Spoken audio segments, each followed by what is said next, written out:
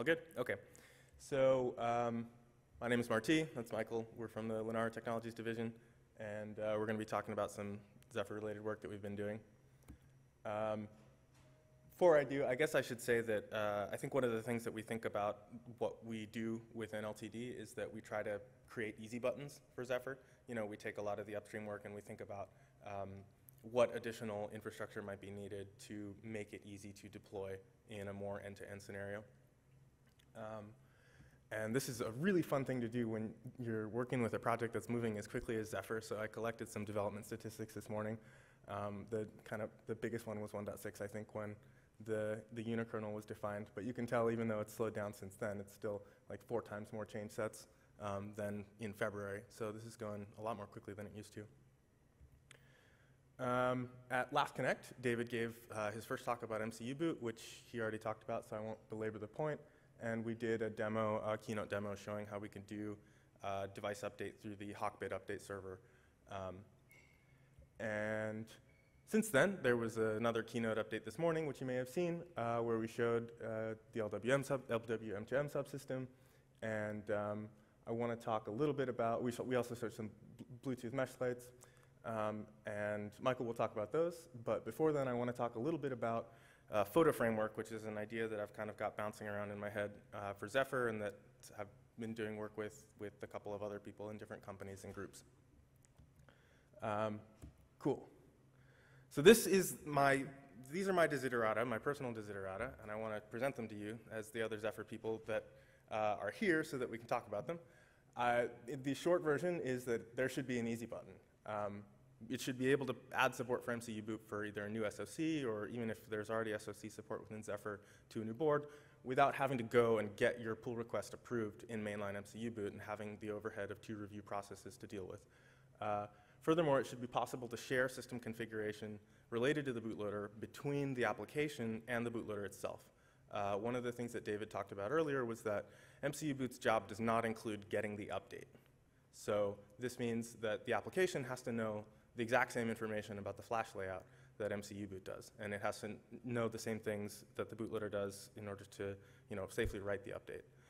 Um, and while we're definitely way better than we used to be, I think that there's a little bit of extra last mile work to do that um, I'd like to talk about that I think will get us into a really great place um, to start proceeding iteratively, iteratively from there. Okay. So this is a quick picture um, of life under MCU boot it lives at the, it's kind of a sort of ARM Cortex-ME picture, and of course it's going to be different on Intel, which uh, MCU boot has been ported to. But MCU boot application image lives at the beginning of Flash. Uh, its vector table is kind of the reset vector table. Um, and then you've got a couple of application images. One is the main one, and one is the update one. And as David said, MCU boot will either swap them out using this temporary partition uh, labeled TMP, or just with a simple overwrite. In addition, there's uh, a little bit of an area where there's an MCU boot header at the beginning of the application image, and so the application's vector table and the rest of its uh, code are a little bit offset. Um, furthermore, this should not be assumed to take over the entire device. You can have gaps in between, uh, which, which I've shown in orange, where neither the, well, the bootloader shouldn't touch it at all, and the application should be able to um, play with it nicely. So that's kind of the, the quick picture. Um, and then the other thing is that, yeah, we've got sectors. So these areas are actually made out of sectors, of course. And sectors may have varying sizes depending on the SOC. Uh, and we might have, you know, weird things where I've seen SOCs where it gets bigger and then it gets smaller again and then it gets bigger again. Um, so this is something that you need to, to deal with um, in general when you're dealing with MCU boot and trying to make it portable and trying to make it easy. Uh, so that's one important thing that you need to think about. Uh, another one is the write block size. So, you know, you can typically read at byte granularity. You can erase, of course, only at sector granularity. But there's various granularities for how, how much data you need to write to flash in one go. And MCU boot needs to know this, and the applications that use it also need to know this.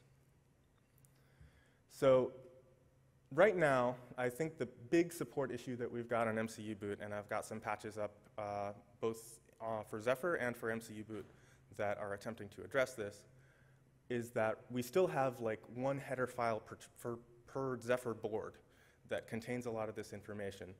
The, um, the blue pictures up here, which tell you, you know, how big are the image areas, have moved to device tree, but a lot of this other stuff is still something that you have to take care of with a, a target-specific header, um, which I see as a problem, um, not only because it's a little bit tedious and error-prone and you end up repeating yourself a whole bunch, uh, but also because you know, the application needs a copy of this. And so, you know, we've, we've done a couple of, of device update systems at this point with di different protocols, and we don't have a much better solution than copy it into each application, which isn't great. And of course, it's not great either when you want to change it, right? Um, and so one, one very good reason why you might want to change your layout, for example, is that if you're under heavy development, you want that scratch partition to be big because it gets overwritten a bunch of times if it's very small during a swap, and you don't want to wear out your board. Whereas in production, you don't expect that many updates, so it's okay for it to be smaller so that your application can be bigger. And there's little trade-offs like this that make having a centralized place to put this information uh, a lot better for people that are going to want to use this. Um, the other thing that I mentioned during one of my questions to David is that I think it's an issue that the, the Zephyr flashing scripts right now aren't necessarily very partition aware, and so it kind of makes it hard um, also for, for build systems that want to know how to flash and debug uh, in a convenient way that's portable. Say if you were trying to build a giant CI lab that wanted to test the same application on a bunch of different boards made by a bunch of different SOC vendors, um, to do this in a clean way and to add, make integration uh, simple for CI as well as for the developers. Um, so this is kind of where I'd like to go with this, uh, where we've got a dividing line between Zephyr and MCU boot. And uh, a lot of this has already started to make it upstream but I just sort of wanted to talk about it here today as, as to why I see it as important uh, for using MCU boot within Zephyr, where we move the partition and sector map as well as the write block size and any other information into the flash driver itself. Uh, it can grab the information out of DTS, which is nice. Um, and that makes the uh, MCU boot hardware abstraction layer perfectly generic. We don't need to change anything anymore. And I've, I've got this working on, on a series with three different SOCs with widely varying flash characteristics. Uh, the other thing that I see being important, which is starting to happen now, um, is kind of having an MCU boot or DFU image manager subsystem within Zephyr that can not only build upon the flash driver, but uh, also help you do things like some of these longer term goals that David was talking about for MCU boot, like being able to communicate information from the bootloader to Zephyr, maybe wanting to deal with uh, multiple incompatible versions of MCU boot in a, in a clean way within one Zephyr subsystem. So uh, while I do think that getting rid of that red ugly box that's still in MCU boot is kind of the minimum thing that we need, and uh, we, can, we can do that, and I would love to talk about this further with uh, any interested Zephyr maintainers. Uh, I also see this, this DFU manager over here being a really important part of the story going forward. So that's it uh, for me, and I'll leave it to Michael to talk about LWM2M. Thanks.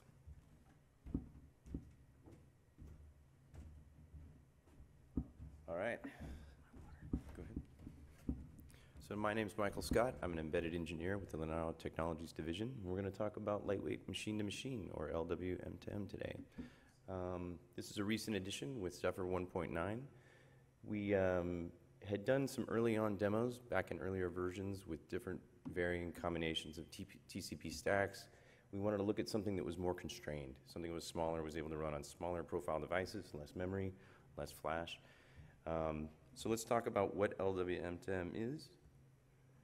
Just as a quick overview, um, LWM2M is based on the um, CoAP protocols. CoAP is a UDP, uh, is the uh, UDP protocol. It has a very small packet header. It has no state to it. You fire and forget. You get a very quick ACK reply, and there's nothing to it. Whereas TCP has sequences, has state machines it has to follow. There's a lot of logic. When you get into that, you, you build a lot of code around that. And uh, to apply for constrained device, you really want to stay as small as possible. So um, with CoAP, you have kind of these resource-based um, queries that you make using get, put, and post. I may be getting ahead of myself a little bit. But um, LWM makes the same use of those get, put, and post methods, but correlates them um, into more of a read, write, create, delete type methods. And those are um, outlined in the uh, box there for LWM2M. Laying on top of that we have these core set of uh, smart objects that the LWM2M system uses. These are security-based information. They're a set of well-defined resources that are well documented. So rather than the CoAP approach of you designing your resource name and sort of using them, these are um, actually put into the spec so that everybody knows what to expect, how to query them, what kind of response you're going to get back. And at the very top of that, you can design your applications to make queries against those well-known objects and get well-known responses back. So we're going to move on. So LWM2M, the core spec is 18 different objects. It starts off with security and, and server information. There, uh, included in that is also some device information and firmware. It goes on into access control model and some other things. And later on, I'm going to get into which portions of the original spec are implemented with version 1.9 and what we can expect later. Um, moving past the original 18, which are managed by the OMA, uh, the working group, there's an IPSO smart object layer, which is comprised of probably hundreds of different definitions for objects. They all belong in a registry uh, that the Open Mobile Alliance has where you can define what the object is, what the resources are, what kind of uh, data element it follows, and whether it's optional, required, read, write. It's all very well documented. Um, one example of, say, an IPSO object is the light control object, which was done in our demo today, this morning, with the, uh, it was a wireless LED where you saw Tyler was sending a command, it would turn the light on, turn the light off. What he was doing was he was using a, um, a write method against the on property or the on resource of the light control. And so, just to use that as an example, these, uh, for more information on a- lot of the details for these different objects, you have to go to the OMA registry, and it's, just goes on and on. This is an example of that light control object. So the object ID for that would be 3311, and that would be the first portion of what is the URI for how to read and write to that object. Each of these objects can have multiple instances in some cases. You could have a, a dual lamp style light where it has instance zero and instance one.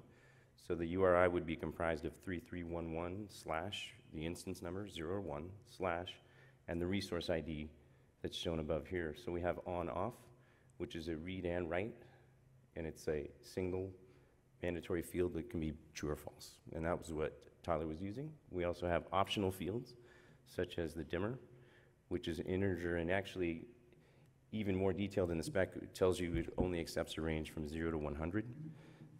But um, the spec is fairly detailed as how these objects are laid out and what, they, what you can expect. Um, I'm going to burn through this pretty quickly. What I wanted to get into was more of a, you're here to learn about LWM2M, but also how it was implemented in Zephyr. And so one of the approaches that I took when we implemented it, um, the engine itself is fairly simple. It has a very basic state machine where it makes a connection to a server and then it updates it every so often. The problem with LWM2M is you see a lot of duplicated code in each one of these objects, and they end up tending to just sprawl out and kind of add up over time because there are literally a lot of these objects. So one of the goals was to abstract the engine enough that you can just define the objects in a very simple way. So the object code is very small, and that doesn't tend to add a whole lot of weight over time. So this is an example of that light object that I showed you earlier. So you can see how we have the on-off dimmer on time. And then if you look at the data definition, this is actual code from Zephyr. You have the light on-off field, it's a rewrite Boolean. You have the dimmer ID on time cumulative. And this is actually just the definition of the resource fields themselves. So the other half of this is later, when you create the object, you actually get initialization of the resources themselves. And so those two parts basically combine the full object definition in Zephyr. And it's actually pretty simple once you get into it. There's not a whole lot of code to make a new object, which is where we need to go next. Um, so using Zephyr LWM2M in a sample is actually hopefully easy. We have a generic set of LWM2M engine setter getter methods. You use the actual resource URI there first, and you can set the value to whatever you'd like. And it depends on whether it's a string or say a U8. Um, obviously, the only example I have up here is strings. But um, what I'm doing right here is I'm initializing a set of device values based on the manufacturer model number. And then when you're done initializing whichever objects you're using, you literally start the, um, it's a registration device client, and it will start the state machine and continue from there. What's neat about this is um, as you select these objects, they register themselves with the engine. And so there's really like three levels of initialization that happens here. All of the objects are created, they register themselves with the engine, and then in your sample code, you set the default values. You set whether I'm creating instance zero, instance one, and then the client starts. And then remotely, whether or not you allow access to it, you can create more instances or delete them. Um, so it's kind of um, a little bit of separation there. So the last thing I want to cover is how you can play with LWM2M today. And uh, if you're using real hardware, I highly recommend you look into what the Linaro Technologies division is working on. This is um, a very easy to use build system where we've making more like an easy button um, to build and deploy. Because using this on an actual device is complicated. We're talking about maybe a BLE device where you need to talk to a gateway, and that gateway has to talk to cloud services, and it all gets very complex very, very quickly.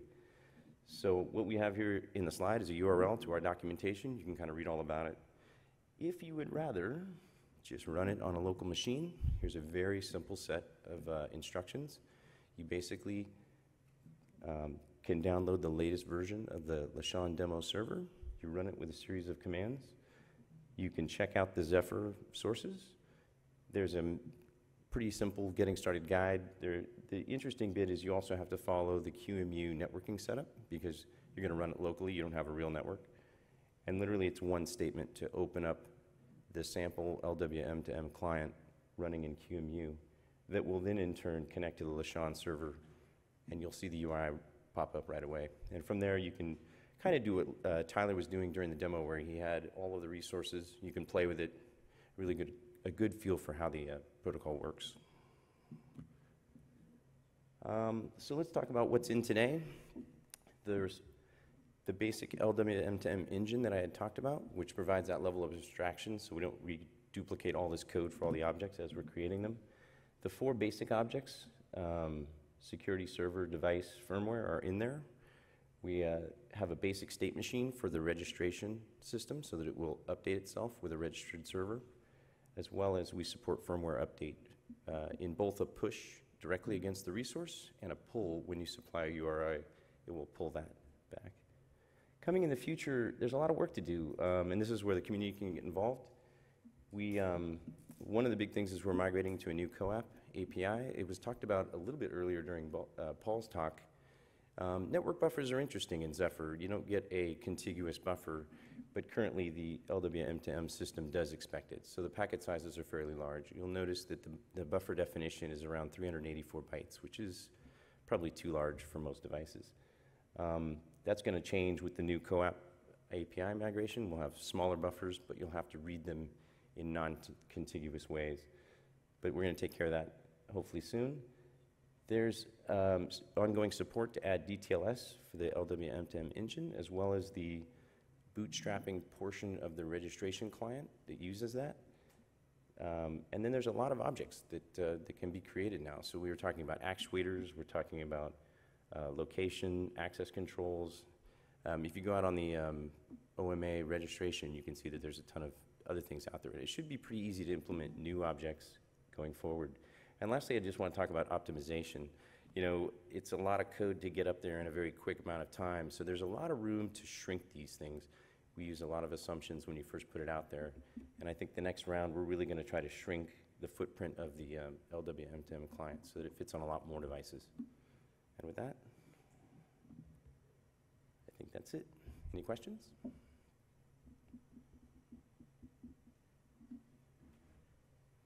No? All right. Thank you for your time.